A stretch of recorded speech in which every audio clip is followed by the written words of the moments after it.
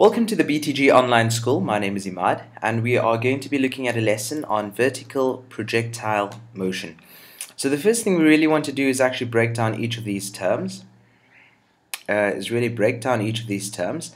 And that very first term that we see over there is actually the word vertical. So what does it mean for something to move vertically, for example? Uh, let's take this. Something moving up and down is something that's moving vertically. So right now my pen is moving vertically. If we move horizontally, for example, my pen would move from left to right, like we see over there. Okay. Now, let us take a look at the word projectile. So I have a definition over here of what projectile actually means. Uh, as you can see, a projectile is an object that is propelled through the air.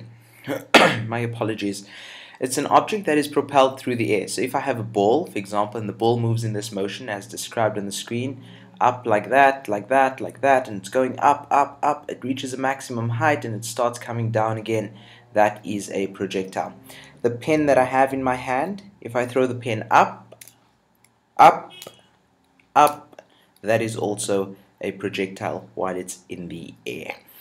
So for our calculations, when we study vertical projectile motion, we will only be considering um, uh, projectile motion in, in closed systems. In other words, we will look at it in the absence of air friction, one. And two, we will also only consider um, objects near the Earth's surface that go directly up and come directly down in the same straight line. Okay. Right, so now we come to the crux of where gravity plays a role.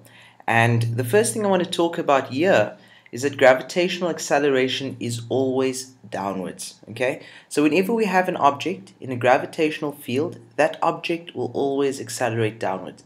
It doesn't mean that it doesn't matter whether the object is going up or coming down right? We're not talking about its displacement, we're not talking about its motion, but rather we're talking about what force is going to be pulling it in a certain direction.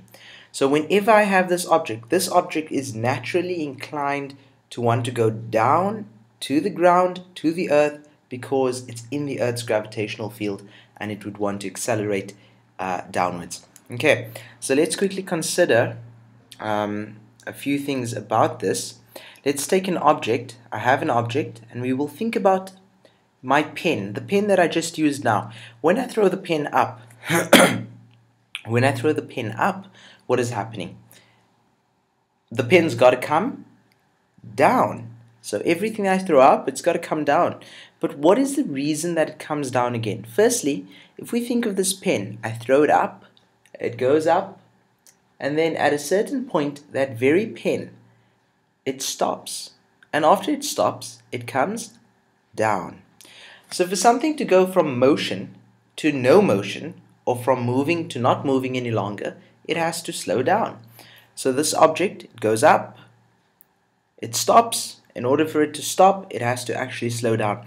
So let's say I have that object over there and uh, I draw a straight line. Let's oops let's actually draw that line from there to there and then let's add an arrow over there. That's my object. That's the distance the object is moving. And that object is moving upwards.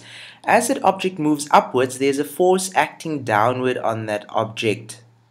And that force acting downward on the object oops is actually gravitational acceleration. Okay, um, I'm just going to highlight that with a green highlighter over there. Uh, I don't need to cover it. That's a bad idea. Okay, let's just remove that quickly. The gravitational acceleration is acting downwards. In other words, as my pen moves up, gravity is pulling it down. Because gravity is pulling my pen down whilst it's moving up, it causes the pen to slow down until it reaches its maximum height. Now if I take um, the same object and let's consider that object moving downwards like this or like so, right? Gravity is going to act in the same direction as the motion. Now let's think about that. Let's think very carefully. If I have an object, this object is moving this way, and I come with a force that's going to push it in the same direction that it's already moving. would that object not move faster? Because it will get an added boost. So we can think of this as an object moving downwards whilst gravitational acceleration uh, also moves downwards. So that's what little g is. Little g, as you can see, a little g stands for gravitational. I'm going to put gravit acceleration. Mm, I have no idea if that's spelled correctly, but we'll check on the next slide. Anyway, very important, I want to write over here that you should note that gravity, and in fact we should choose a different color pen. Gravity always acts downwards. I'll write that nice and big downwards. Okay, now why didn't I say gravity is always negative or gravity is always positive? No, it depends on your reference system. So for example, if you think about a reference system, um, let's take a black color, a reference system, right? For our questions, we'll consider upwards as positive and we'll take downward motion as negative. Right, we'll take upward motion as positive, downward motion as negative. So in our calculations, gravity will always be negative, right? But not because gravity is always negative, rather because gravity is always downwards. You choose the reference system according to either what the question states or what you state at the beginning of the question. For example, we will take upward as positive, downward as negative. A quick recap of this slide, as an object moves upwards, Gravity is pulling that object downwards and that's the reason the object starts to slow down.